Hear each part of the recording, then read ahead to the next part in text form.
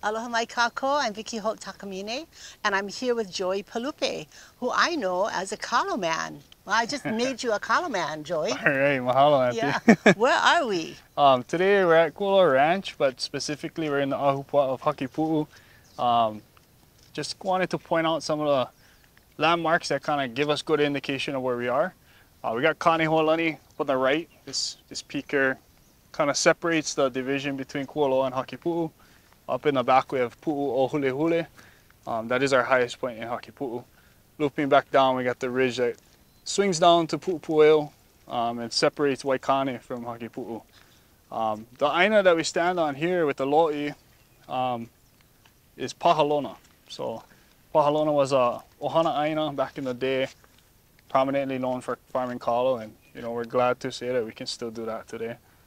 But yeah, aloha. When, when we talk about ahupua'a, so a lot of people understand, we, we have an opportunity to educate people about what aina, what, what island are we on in the state of Hawaii, well, in Hawaii Island, Yeah. in the archipelago. Yeah. So um, zooming out of the map, Yeah. Hakipu'u is in Ko'olaupoko, which is a region or moku on the island of Oahu. Perfect. And then we also have other kinds of divisions um, within that ahupua'a or within the moku. So the moku is the island, right? Yeah. And then We got but Moku- also Moku is also the a district, yes. right?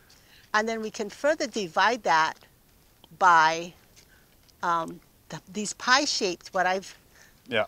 are pie-shaped districts that are formed with the ridges Yeah. on the Mauna that go from mountain to the ocean. Yeah, pololei. So that, that concept of ahupua'a for us on Oahu Island, we're really, really fortunate because our ridge lines stretch from the mountain to the sea and the water runs in that way. Now, if you go to other islands, you might not see it be Mauka to Makai and run divided by the ridge lines. It might be, you know, the center of the island or whatever it may be. But it's really a way for us to kind of manage our people within that region based on how much wai we have there, how much wai can provide the amount of life there. Yeah, so vai meaning water Yeah. and the natural and the cultural resources that are vital to our survival as a people. So when we talk about, um, you know, any kinds of uh, community or peoples, they're usually uh, de- determined by their cultural resources, their cultural practices.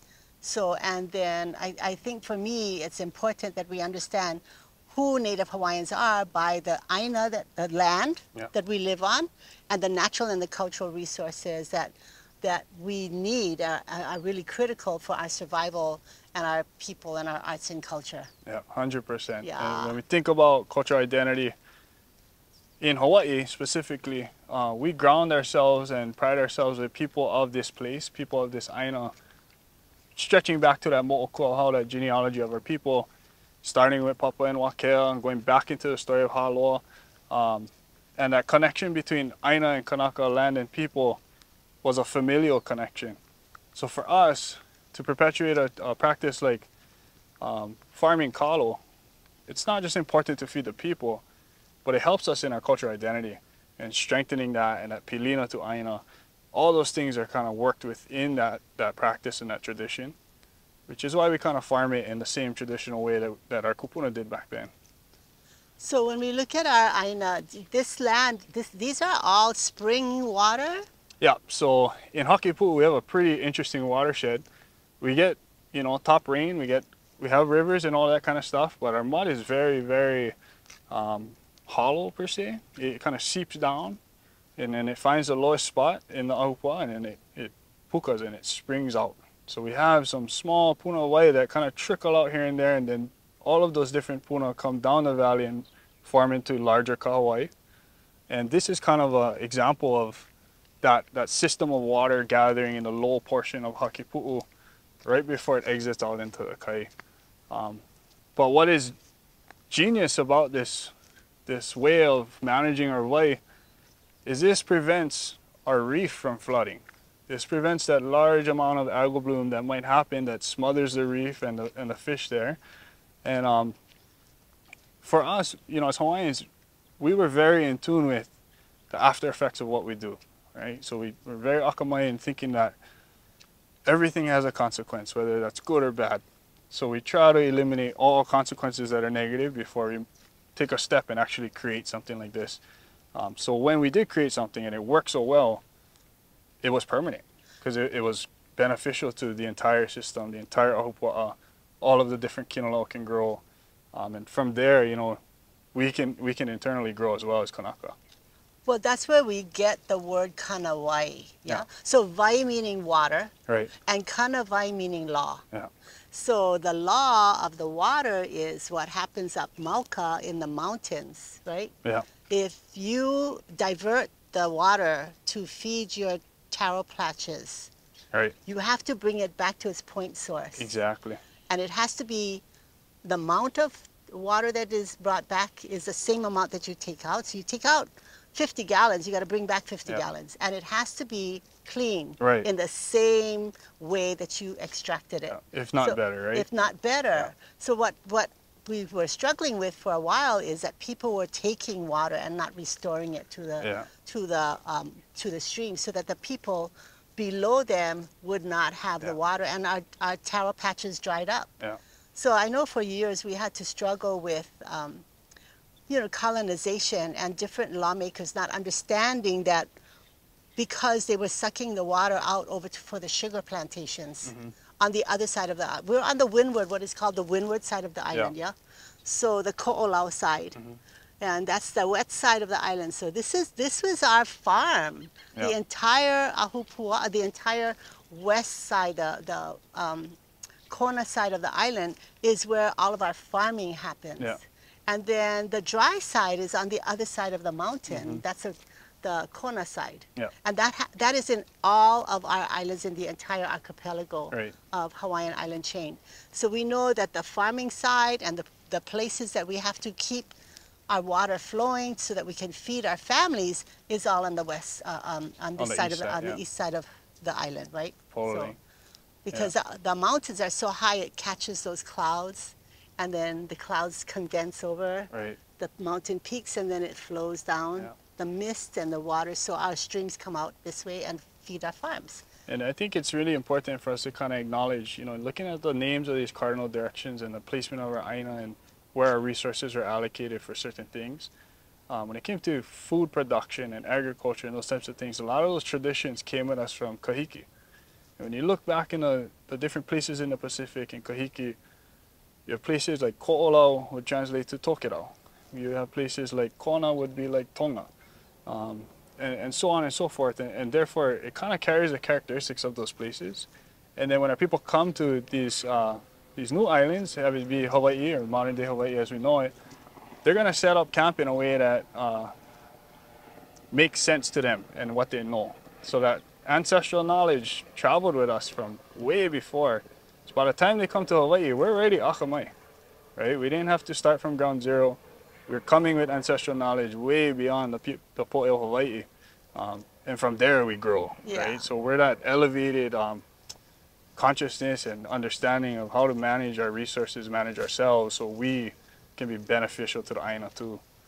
Well, they totally had to be in con- con- connection with their Aina because they understood star navigation. Yeah. We, we didn't have maps, and uh, so they, they understood the winds, the waves, the currents, the birds, the, in order to get them to Hawaii. Right.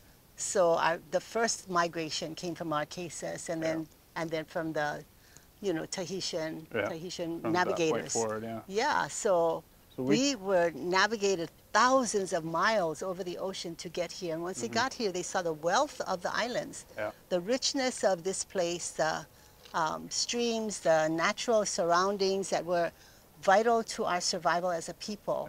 Um, and that's the migration story. hmm But we also have the story, and you mentioned this earlier about Papa and Wakea. Yeah, yeah. Yeah. And I think the the beautiful thing about Papa and Wakea and that genealogical mo'olelo that we have to tell us who we are, um, is it can be seen in so many different ways and interpreted in so many different lenses that that we as a people will always have a way to, to connect to this mo'olelo, um, no matter what the time is, no matter what we're presented with, what the world might be like, we can always root back in and connect to that mo'olelo. Papa being Earth Mother, um, and Wakea being Sky Father, it was a union between those two that birthed Ho'ohoku Kalani, the woman of the stars, and from from there, Ho'ohoku Kalani and Wakea, Sky Father and the, the stars, had a union together and made Haloa Nakalau Kapalili, which is uh, our first kalo plant. Um, and there's different versions of this mo'olelo that take us geographically to different places in Hawaii. The one that I want to kind of talk about and, and really pay homage to today is, is the one that happened specifically in Kualoa and Hakipu'u. Um, when we look at some of the place names around where we are situated, situated today, we have Mokapu, short for Moku, Moku Kapu Wakea, you know, that, that ancestral birthland and that homeland to Wakea. And then we have Kanehoalani up there. It's another, it's another um, Kane entity or a name that kind of has some Pilina to Wakea as a son. Um, But also Kane, the god of water. fresh water, Water. creativity, Yeah. right? So Kane Hoalani. And, and just below Kanehoalani, we have these pali that come down. Uh-huh.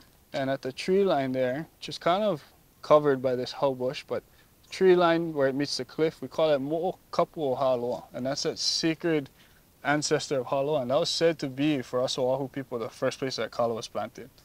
Um, another very abundant food for us as people was, was our ulu. And Mm. the Ka'ulua Kaha'i is a mo'olelo that brings us again back to Hakipu'u and the first um, planted ulu tree on Oahu being in Hakipu'u with Kaha'i. So all of these different migrational versions of this mo'olelo, they all tie in in different ways um, and, and gives us this opportunity to look back into the past and understand that, you know, this was a food hub. Yeah. This and it still is today. Yeah. So we're here with, um, so I always refer to you as a Kalo man because every time I see you, I said, I think of Kalo. I was like, oh, I should ask him for some Kalo and Pa'iai. But um, tell me, so tell me about your, the, this is called the Lo'i. Yeah. So this is our lo'ikalo. Um, in Hakipu'u at Pahalona, we, we kind of do things a little bit different from what you might traditionally see in, in other places of Hawaii, and all of this is trial and error, right? The practice of farming kalo, there's not one way to do a lo'i, right? The, the most important thing is the vai comes in and the vai goes out, and that's that's the nui, you know. Uh, for us, we do it in mo'o mounds, which are these long rows of kalo, and this thought of packing our ohanas together with lots of mud surrounding them gives them a little bit of a chance um, to kind of mediate the difference between the temperature change here in water. So you, when you think about an ohana, and we think about stability in the hale, right? Even as people, if the stability in the hale is not very good and you're going up and down, up and down every time, that keiki is not going to grow up very strong, right? So we take those life lessons, apply it to the way that we farm, and we try to give them the best chance at making a strong kalo. You Yeah. know, we treat So- it as if it is ours. So Haloa, Haloa nakalau kapalili. right? And then we mentioned these terms, the Oha. Yeah. That is also the root word for Ohana, which Yeah. meaning family, because from that main corm, the Oha, come all the little keiki, the children, yeah, right? that- that- the keiki that come out, off the extend off the makua, the parents. Yeah. So all of these terms are terms of Olelo Hawaii that relate to our family. yes. And our pilina, our, our, our closeness or the relationships. That family dynamic Right. is, is again reflected in the growth of our kalo, our eldest, our eldest ohan, our eldest brother. Um, and the the beautiful thing about haloa is, it, you know, when you're, whatever you're feeling, I always tell people, you know, if you're feeling a certain way and you're having family problems, get in the lo'i, you know, and, and just be there and listen. And when you get your hands in the mud and you're helping the ohana that that's always been there for you, it's one of those things that you start to really internalize and understand what you need to make your ohana better, right? Because this is your older brother. Sometimes we just gotta reconnect and listen, right? And then our family can be good again, healthy.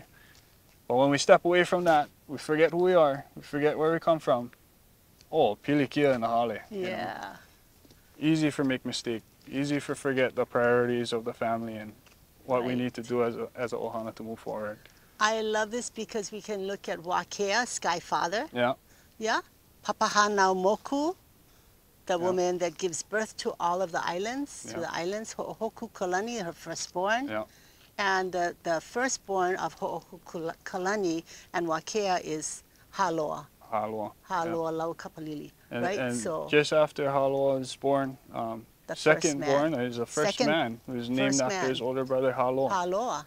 And, And, then uh, that sets up the relationship for all of us as Hawaiians. We descend from, the genealogy is that we descend from Haloa.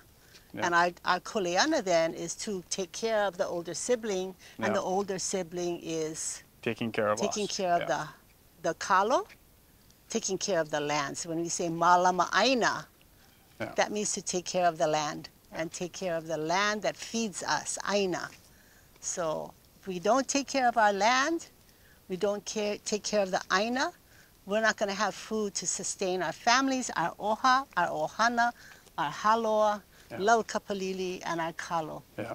And all of that comes back full circle and it comes to, again, feeding ourselves as physical entities, but also that cultural identity. What are we feeding the na'au of our people?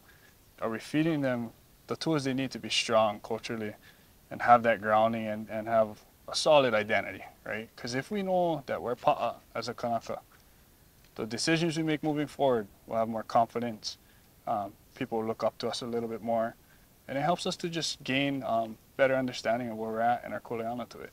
Yeah. yeah. So here at Kualoa, and we're here at Kualoa, and not that I'm wanting to plug Kualoa, but I think you have an educational program, which is why you're here. Aye, aye. So what do you what do you do here at Kualoa? So I'm I'm the manager of Hawaiian culture, um, community engagement, and education, and basically it's a long title for, you know, being committed to whatever the future gets out of this, right? Um, for us, we're shifting into this new narrative of getting people back in Lolo'i, getting our, our Hawaiians in the Aina. Um, for a long time, Kualoa was inaccessible to many people to do stuff like this. Um, but for us, it, we've taken it on as our kuleana to reinstitute Kanaka into this aina, give them that connection that they might need. You know, build that cultural connectiveness to the aina, um, to themselves, to their kupuna, and then from there, you know, expand, move out, um, and maybe even help visitors. Right? And in all of this, we're hoping that our aina gets revalidated as a source. Our aina gets respected and, and protected you know, until the end of time. Because if we don't value those things in our aina and the ability it has to grow food and provide for our community, things things will be taken for granted and things might go the wrong way, right? So we, we gotta be that kupa'a, we gotta be that strong force that puts the things that are important forward and accessible to the aina and to the people, right? So we can go to kualoaranch.org or Yeah, we have a website that we can call and sign up our ohana, our family. yeah. And So then, oh, look at the alae ula, the red. Yeah. Oh, so the other thing about this too is we've got a rice paddy over here, but it's bringing back the birds, the native birds. Yeah. Up. What we got flying up Oh, ahead. we got some ducks over here. We got some ducks, but Yeah. did I see also the kolea? There's kolea. Kolea. Kolea frequent here. Auku'u. Au Alai ku'u, ula, alai alai ula. ke'o, So ai'o. Yeah. our native birds are, are coming back to our lands and Those know. are the original kupa of this place. you know, Right, these right. these people were waiting for this to happen so they can come home and be healthy again. And yeah, We've seen population increase, which is a super good indication that we're doing something good. yeah. Um, so we're happy with that. And if you guys ever want to come out, you know, it, the best thing to do, I would say, if you're coming in an educational setting, which I think most of us are, um, you can email education at kualoa.com with any inquiries to come by. You can malama aina, get you in a lo'i, you can do some stream restoration, or just come and relax and learn a little bit about this place and the Ahupua'a system and what we do. Yeah, there's something for everybody here Yeah. at Kualoa, and thank you so much for hosting Mahalo, us Auntie. and Mahalo. talking story about our Aina and our Ahupua'a and where Moku Yeah. is. Beautiful. Mahalo. Mahalo. Yeah, we can walk down towards the ocean and